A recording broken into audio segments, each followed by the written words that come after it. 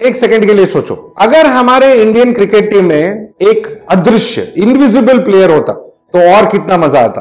अगर तुम्हारे क्लास में तुम्हारा एक इनविजिबल दोस्त होता तो कैसे होता?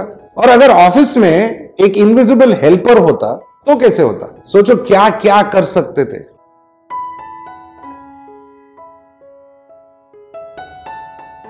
जब हम अपने एक्वेरियम को देखते हैं ना जब हम देखते हैं तो हमें क्या दिखता है? Beautiful colourful fish beautiful movement majestic movement beautiful colours in the plants red green मतलब दिल खुश हो जाता है। एंड अगर मैं कहूँ कि यहाँ पे कुछ हंड्रेड मिलियन से ज़्यादा इनविजिबल हेल्पर्स है, मानोगे?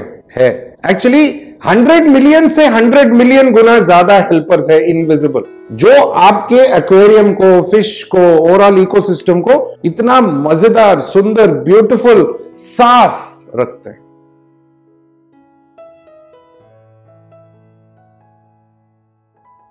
मैग्नीफाइंग ग्लास से भी दिखते नहीं है एक्चुअली अदृश्य है। बट इसका मतलब ये नहीं कि है नहीं। ये हमारे इनविजिबल हीरोज एक्वेरियम हॉबी के इनविजिबल हीरोज है बैक्टीरिया गुड बैक्टीरिया एंड है, बहुत सारे हैं। कितना है, जानना है, देखते रहो वीडियो ये बैक्टीरिया अगर नहीं होते तो हमारे एक्वेरियम्स एक्वेरियम्स नहीं होते। एक टॉक्सिक सूप होता, पानी गंदा, मछली रह नहीं पाते, जी नहीं पाते ब्रीद नहीं कर पाते। मतलब गंदा से गंदा गंदा पानी, जिसमें कुछ भी नहीं जी सकता, ना प्लांट्स ना मछली। बैक्टीरिया वो इनविजिबल हीरोज है, जो हमारे एक्वेरियम्स को एक्चुअली देखने लायक एंजॉय करने लायक एक्वेरियम्स बनाते हैं। सो so, एक्चुअली देखा जाए ना तो आप लोग एक्वेरियम हॉबी या फ़िश कीपिंग हॉबी में नहीं हो बैक्टीरिया कीपिंग हॉबी में हो। यस बैक्टीरिया कीपिंग हॉबी जो भी हम जद्दोजहद करते हैं बैक्टीरिया डालना फ़िल्टर में मीडिया रखना या यू you नो know, जो भी है सॉइल या सॉइल के नीचे सबस्ट्रेट एनीथिंग वो बैक्टीरिया अच्छा रखने के लिए होता है. बिकॉज़ बिना बैक्टीरिया का बिना इन इनविजिबल हीरोज के आपका एक्वेरियम नहीं है. तो हुए ना आप सब बैक्टीरिया कीपिंग हॉबी में। एंड अगर आप गुड बैक्टीरिया नहीं डेवलप कर पाते आपके एक्वेरियम में तो then problem start fish health fish खाता नहीं है। एक कोने में जाके बैठ जाता है। फ़िश के बॉडी के ऊपर स्पॉट्स रेड स्पॉट्स गिल खराब होना, सब प्रॉब्लम्स वहीं से शुरू होता है। नो बैक्टीरिया को रखते कैसे हैं? और क्या करते हैं? देखेंगे। अगर एक साइकिल्ड टैंक नो ये साइकिल टैंक ना मैं भी बार बार बोलता हूँ, सोचता नहीं ओके बहुत लोग बोलते हैं हॉबी सब बोलते हैं साइकिल टैंक में रखो साइकिल टैंक में रखो। साइकिल टैंक का मतलब है फ़िश लाने से पहले आप अपने एक्वेरियम को बैक्टीरिया से भरे, उसको साइकिलिंग बोलते हैं। मतलब अगर गुड बैक्टीरिया है आपके एक्वेरियम में देन वो साइकिल टैंक है। तो आप पहला चीज़ जो करते हो एक्वेरियम सेट करने के लिए is to cycle your aquarium मतलब बैक्टीरिया ग्रो करते हो। तो ये टर्मिनोलॉजी शायद गलत है कि cycle your tank it should be first grow the bacteria then we take it to you know adding the fish so cycle the tank मत बोलो ग्रो योर बैक्टीरिया बोलो। तब समझ में आएगा न्यू हॉबीस्ट को।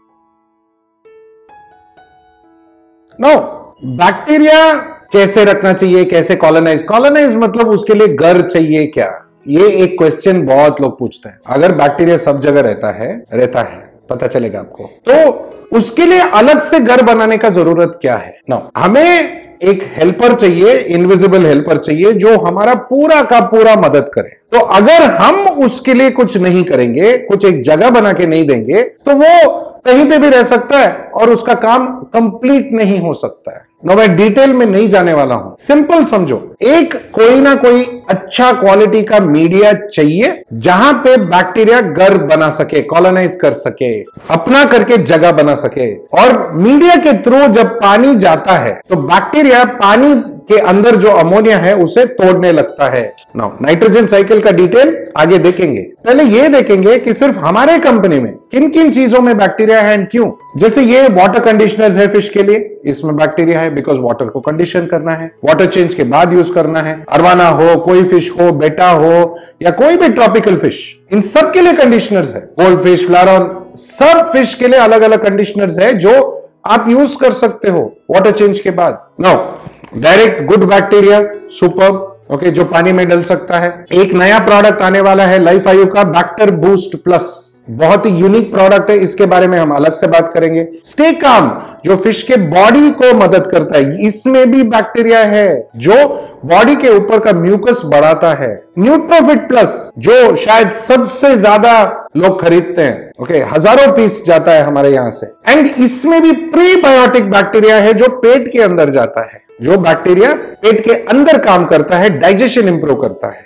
हमारा गुड ग्रो सीरीज़ नया से जो सॉइल के साथ जो मिल रहा है स्टार्ट उसमें भी बैक्टीरिया है। Start starting the aquarium bacteria and of course हमारा biomedia very popular product because high quality media है जिसमें लाखों हज़ारों करोड़ों बैक्टीरिया रह सकते हैं इसमें। ना इसको एक्सप्लेन करना कॉम्प्लिकेटेड uh, नहीं है बट मैं ट्राई करता हूँ। अगर आप एक के जी बायोमीडिया लेते हो और उसको पेपर के तरह स्प्रेड करते हो तो चार फुटबॉल फ़ील्ड जितना जगह कवर करेगा, उतना पोर्स है उसमें। छोटे छोटे छोटे छोटे पोर्स है होल्स है। तो उतने जगह में उतना बैक्टीरिया कॉलोनाइज हो सकता है, घर बना सकता है। नाउ अगेन कितना बैक्टीरिया है आपके एक्वेरियम में, अगर मैं बताऊँ तो दंग रह जाओगे बट बताऊँगा, थोड़ी देर में। ऑल्सो हम रूट बूस्ट सॉइल के नीचे जब डालते हैं सॉइल के नीचे बैक्टीरिया देने के लिए। वाटर केयर पाउडर बैक्टीरिया आप कभी भी यूज़ कर सकते हो। एग्जिस्टिंग टैंक में या नए टैंक में आप यूज़ कर सकते हो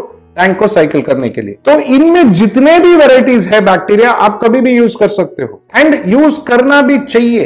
एंड ऑफकोर्स बायोमीडिया बायोमीडिया में अलग अलग वैरायटी है। ये शायद सबसे बेस्ट है अभी मार्केट में। आप लावा चिप्स यूज़ कर सकते हो लावा स्टोन यूज़ कर सकते हो बट उसमें याद रखो न्यूट्रल होना चाहिए। अगर पानी का पैरामीटर चेंज करता है तो देन ऑटोमेटिकली बैक्टीरिया जी नहीं सकता। ज़्यादातर इंडिया में जो लावा चिप्स या लावा स्टोन मिलता है, उसमें सल्फ़र होता है एंड बैक्टीरिया मार देता है। तो इट वर्क एडवर्सली उल्टा काम करता है। Yes ceramic rings is a very very popular biomedia but याद रखो सेरामिक रिंग्स तीन महीने में ब्लॉक हो जाता है। एंड फिर फिर से वॉश करोगे कुछ भी करोगे वो खुलता नहीं है। सो so, ये प्रॉब्लम है। So use natural good quality biomedia बहुत ज़रूरी है।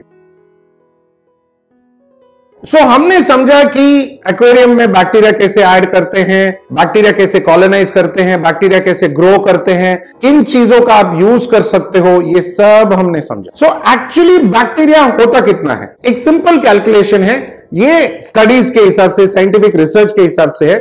मेरे हिसाब से नहीं है बिकॉज़ मेरे को तो दिखते नहीं है। बट समझ में आता है कि मेरा टैंक हेल्थी है मतलब बैक्टीरिया अच्छा है। बस। बट कितना बैक्टीरिया होता है? ना ये मेरे पास ये फुसफुस है मेजरिंग का। इसमें मैं वन एम पानी ले रहा हूँ। वन एम पानी है। और मैं वन एम पानी यहाँ पे डाल रहा हूँ। ओके okay, ये सिर्फ़ इतना ही है। थोड़ा सा पानी है। ओके वन एम पानी। आपको पता है कि स्टडीज़ कहता है इस वन एम पानी में हंड्रेड मिलियन बैक्टीरिया हो सकता है। One M hundred million bacteria ये टैंक 90 45 45 सेंटीमीटर तो ये टैंक में अप्रोक्सीमेटली 180 लीटर पानी है 180 लीटर भाई तो कितना एमएल हुआ और कितना बैक्टीरिया हुआ? इतना मैथ्स तो मुझे भी नहीं आता अगर आपको आता है तो कमेंट ज़रूर करना। इसमें ऑल्सो इंपॉर्टेंट चीज़ ये है कि बैक्टीरिया कितना होना चाहिए, वो इस पे भी डिपेंड करता है कि आपके टैंक में कितना फ़िश है। अगर ज़्यादा फ़िश है तो ज़्यादा खाएँगे, ज़्यादा पूप करेंगे पी करेंगे, ज़्यादा वेस्ट प्रोड्यूस करेंगे तो ज़्यादा बैक्टीरिया होना चाहिए। और अगर कम फ़िश है तो कम हुआ तो भी चलेगा। बट इसको मेजर करने का कोई मीटर नहीं है। हमें अपना काम करना चाहिए बैक्टीरिया को खुश हैप्पी और हेल्थी रखने के लिए। कि सही बैक्टीरिया ऐड करो, सही मीडिया दो, ताकि वो बैक्टीरिया ग्रो करे टैंक अच्छा रहे। नो बहुत लोग एक क्वेश्चन पूछने वाले हैं, क्यों मीडिया डालना है? बैक्टीरिया तो सब जगह रहता है हंड्रेड परसेंट रहता है। आपके वुड पे स्टोन पे ग्लास पे फ़िश पे, जो भी सरफेस एरिया है, जहाँ पे वो रह सकता है बैक्टीरिया रहेगा। हमारे हाथ में भी है। बैक्टीरिया रहता ही है। हमें यहाँ पे गुड बैक्टीरिया ग्रो करना है। एंड ये गुड बैक्टीरिया हमें ऐड करना पड़ता है। अगर हम ऐसे ही छोड़ दें रेगुलर नल का पानी डाल के छोड़ दे तो उसमें क्या बैक्टीरिया आएगा हमें पता नहीं है। बिकॉज़ दिखता नहीं है। तो जब हम गुड बैक्टीरिया ऐड करते हैं तो हमें एटलीस्ट कॉन्फिडेंस है कि हमने ऐड किया है। एंड वो ग्रो भी करेगा। ना गुड बैक्टीरिया ज़्यादा हुआ तो पता नहीं बैड बैक्टीरिया जो भी है, मर जाता होगा। ना एक और बड़ा टर्म है नाइट्रोजन साइकिल सब लोग डर जाते हैं। पिछले हफ़्ते हमारा एक वीडियो था 20 क्वेश्चन फेवरेट फ़िश वाला। 90 परसेंट पीपल ने नाइट्रोजन साइकिल वाला जो क्वेश्चन था, उन्होंने गलत आंसर किया। नाइट्रोजन साइकिल बहुत सिंपल है। अगेन बिना बैक्टीरिया का होता नहीं है। सी जैसे मैं बोलता हूँ, पानी साफ़ रखो मतलब पानी में अमोनिया नहीं होना चाहिए। ऐसा कोई चीज़ नहीं होना चाहिए जो फ़िश को तकलीफ़ दे या प्लांट्स को तकलीफ़ दे। ना उसके लिए बैक्टीरिया ज़रूरी है। नाइट्रोजन साइकिल समझने के लिए बहुत इजी है। इसमें तीन मेजर कैरेक्टर है। पहला तो आपका फ़िश एंड प्लांट्स जो आपके टैंक में है। जो पूप और पी करते हैं। प्लांट्स लीव्स गिराता है dead and decay matter create करता है। ये दोनों जो है, गंदगी जो है poop pee dead and decay leaves ये अमोनिया जनरेट करते हैं। इसमें जब भी आप लो क्वालिटी या गंदा खाना यूज़ करते हो और डालते हो और खाना वेस्ट होता है तो वो भी अमोनिया जनरेट करता है। ना ये अमोनिया जो है, हमारे फ़िश के लिए एक्वेरियम के लिए प्लांट्स के लिए हानिकारक है। अमोनिया ज़्यादा है, कैसे दिखेगा? पानी धुंधला मिल्की होगा धुंधला होगा, साफ़ नहीं दिखेगा क्रिस्टल क्लियर नहीं दिखेगा। इसका मतलब अमोनिया है। ज़्यादातर छोटे टैंक्स में बोल्स में, जहाँ पे फ़िल्टर नहीं है, वो दिखता है एंड स्मेल भी आता है।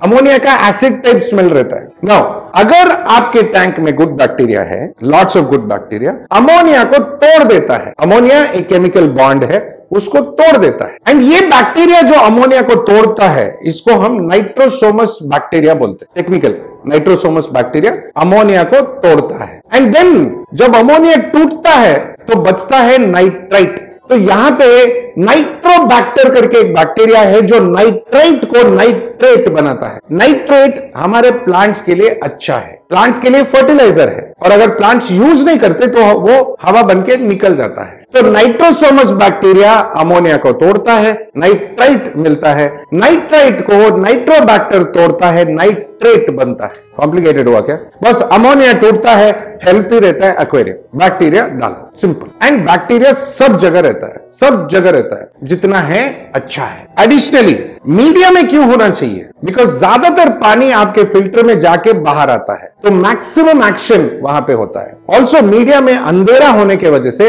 बैक्टीरिया और भी खुश होता है। एंड फ़िल्टर में बिकॉज़ पानी फ्लो है हाई ऑक्सीजन एरिया है तो बैक्टीरिया जल्दी कॉलोनाइज करता है जल्दी ग्रो करता है। सो so, एक फ़िल्टर होना इंपॉर्टेंट हो गया। नाउ मैंने ऑलरेडी समझा दिया कि अगर बैक्टीरिया नहीं है तो हमारे एक्वेरियम में क्या दिखता है, क्या हो सकता है, क्या प्रॉब्लम्स हो सकता है? पानी धुंधला होगा फ़िश बीमार होगा, ये सब सिचुएशन है। एंड हमें ये देख के ही पता चल जाना चाहिए बिकॉज़ ये विजिबल है।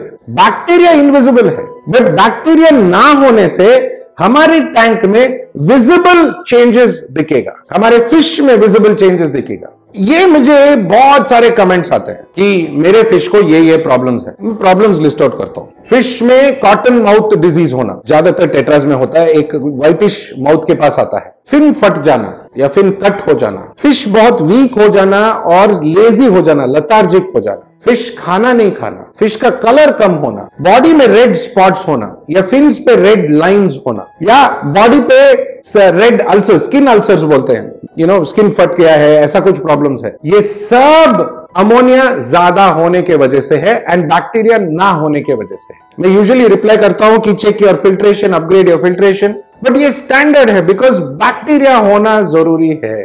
सी नाउ जो मैं बोलने वाला हूँ ना, बहुत लोगों को पसंद नहीं आएगा। स्पेशली इस जनरेशन के लोगों को तो पसंद ही नहीं आएगा। आप लोगों को सब फटाफट चाहिए। Fast fast fast quick video बनाओ तो क्विक रील्स शॉर्ट्स सब छोटे छोटे क्विक क्विक बैक्टीरिया कॉलोनाइज करना क्विक नहीं होता।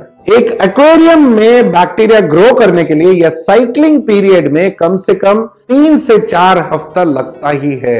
एंड जब भी आपको लगता है कि मुझे जाके फ़िश लेके आना है एक्वेरियम लेके आना है, नया एक्वेरियम लाना है तो ये प्लान करो। जाओ, पहले फ़िल्टर लेके आओ एक्वेरियम लेके आओ, पानी भरो, बैक्टीरिया डालो, उसको साइकिल करो। दो या तीन हफ़्ते बेटर चार हफ़्ते depending on the quality of bacteria you using दो से चार हफ़्ते तक आपको वेट करना पड़ेगा। फिर बाद में फ़िश लेके आना है। 90 परसेंट लोग टैंक फ़िल्टर फ़िश सब साथ में लेके आता है।